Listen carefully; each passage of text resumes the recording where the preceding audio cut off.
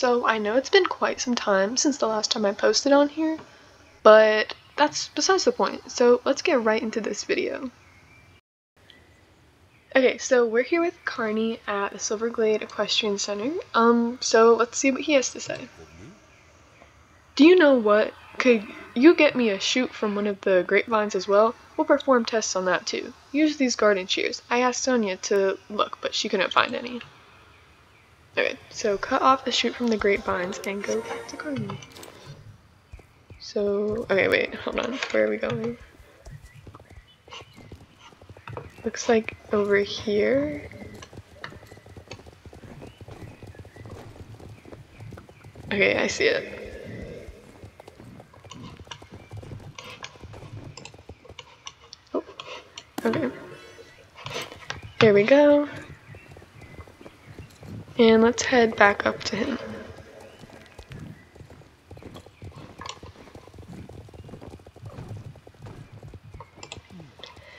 That's it. Thank you, Brooklyn. You've been so helpful. Alright, it looks like Judy over here has something for us, so let's see what she has to say. Here are some tools that you can use to fix the leaky pipes. Dang, okay, it looks like we're going to do all of their work for them today.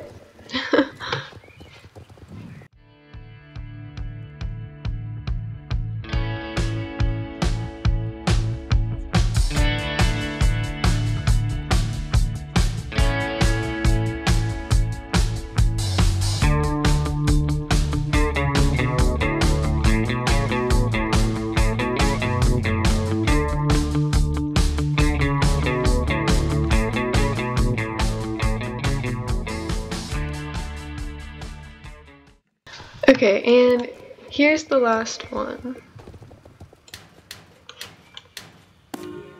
Okay, perfect. Let's head back to Judy now.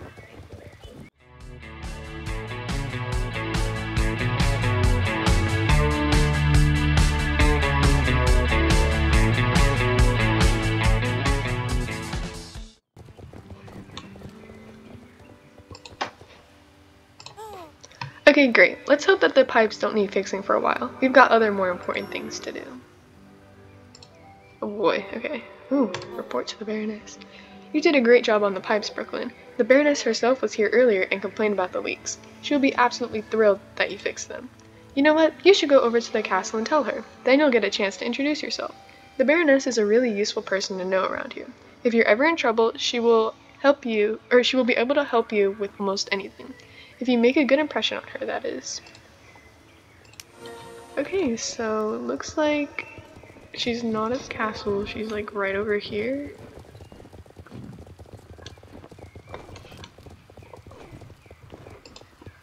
Good day, my dear. And who might you be? Brooklyn? Oh, you work in the stable, I see. I'm delighted to hear that you fixed the leaks and that you sent the grapevines off to be analyzed. Very good indeed.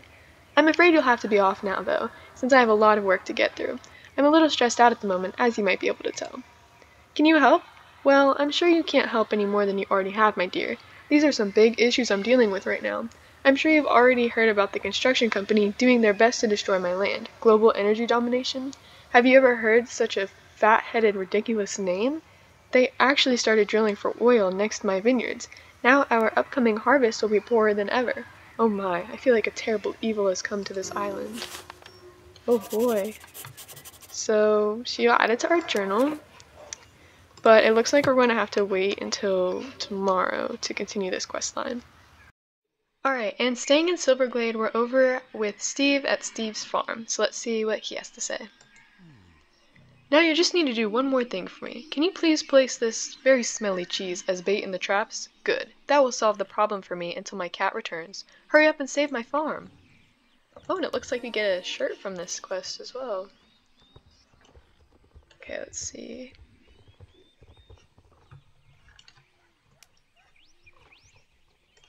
There's one cheese.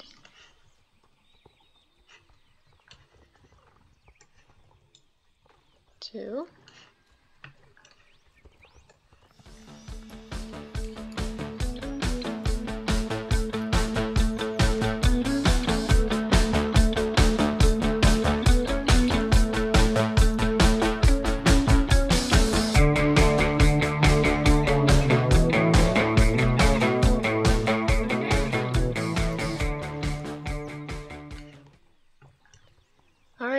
All done with that, let's see. Well done! I hope this will end the mouse invasion and save the farmhouse. I still wonder what's going on underground during the night. That may be the reason for the mouse invasion, but I can't look into that now. Okay, let's try on this new shirt. Ooh, that's very pretty purpley color. I might wear that instead of the pink vest. It looks pretty good. Okay, and I see that we have a quest over here by this round pen, so let's see what Maeve has to say. Hey Brooklyn, are you interested in trying out lunging? It's a great way to train and bond with Night River. Sometimes I do this before lessons to give my horse a chance to warm up and let go of some extra energy. It can also be an alternative to riding when it comes to exercising a horse. In fact, lunging is often used for young horses to learn cues and build muscles before being ridden for the first time. Horses don't miraculously walk in circles around us, no. We want or we have to give them correct cues so they understand what to do. If we want them to increase in gait, we have to prompt them to do so. If we want them to take bigger circles around us, we lengthen the lunging line a little bit and ask the horse to move out with our body language and voices.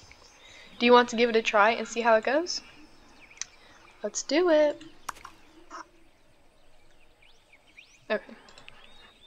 Let's start by prompting your horse to transition into walk.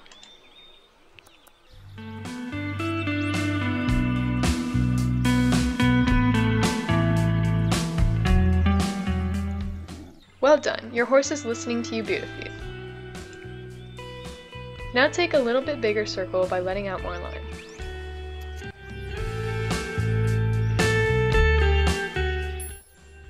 Beautiful. Alright, prompt the horse to go into trot.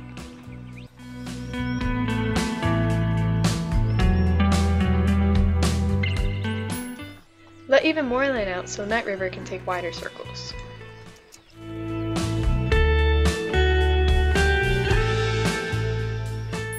This is going well. Oh, did you see that? It's common that horses tend to switch gaits or change the route a little bit. This is a reminder that when lunging, you always have to stay focused to ensure that you give enough cues so the horse knows what to do. Otherwise, they might just simply come to a halt. Now, why don't you prompt the horse to go back into trot?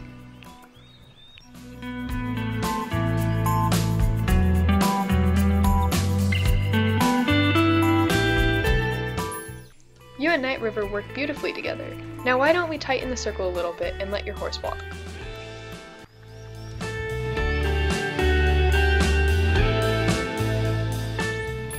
You're a natural. Let's wrap up for now, but don't forget to give Night River a treat for a job well done. Okay, that was pretty good. I like that Star Stable is incorporating sort of like new ways to engage with your horse in the game. That went well, didn't it? When you want to lunge your horse, just come to me. Successful lunging sessions can improve your horse's fitness and the bond between the two of you. Okay, perfect. And it looks like this is replayable, so you can play it however many times you want. Okay, and right next to Steve's farm, there's this person Ty next to a giant arena, and he has a frog named Crocosaur, which is quite interesting. So let's see what he has to say. The name's Ty, and jumping is my thing. With a horse, I mean. I don't run about randomly jumping. But if you like doing that, who am I to judge? Jump away. I've made a fool of myself, haven't I? Can we start again? Hey stranger, have you ever wished for a track to promise gymnastic jumping before you hit the serious stuff? Well, you've come to the right place. Or person. I'm talking about me. Ever since I came to Jorvik for riding camp, all I've wanted was a place to practice some epic jumps without the fear of embarrassment when I inevitably fly off the horse. It feels like I've been in Jorvik forever. So you get where I'm coming from. Seems like fate brought us together. No way, Dean. Anyway, I've put together two gymnastic jumping exercises, and I'd be honored if you'd try them out. I'd be delighted. Welcome to the first of my gymnastic jumping exercises. If you're new to jumping or a seasoned professional, this track covers all the basics to warm you and your horse up for the real deal. Okay, here we go.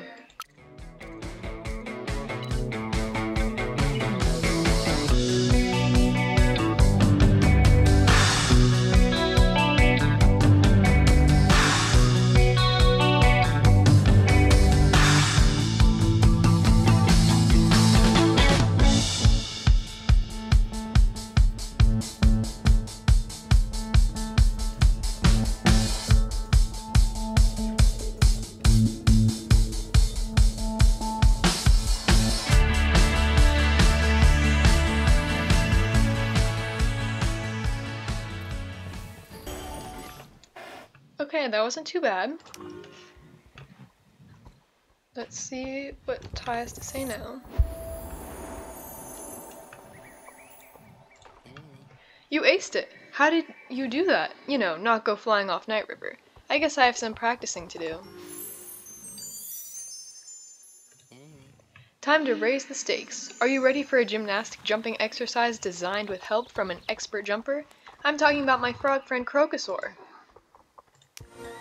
Course.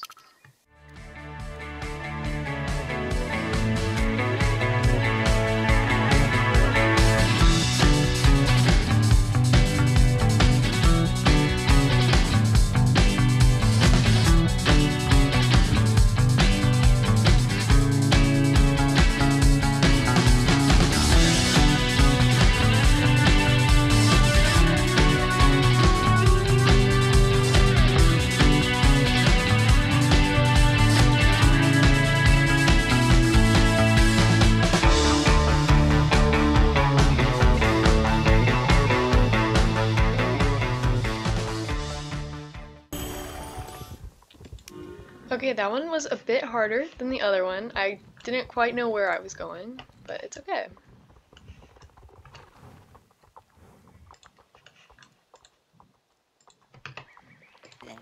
If this was the Eurovision Jumping Grand Nationals, you'd be going home with the gold.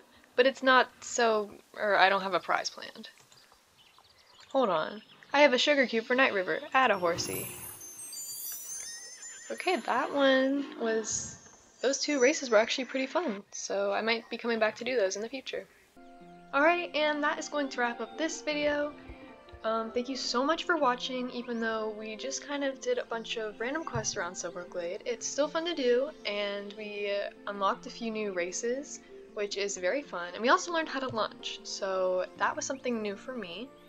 And yeah, so I hope you enjoyed, and can't wait to see you guys next time. Bye!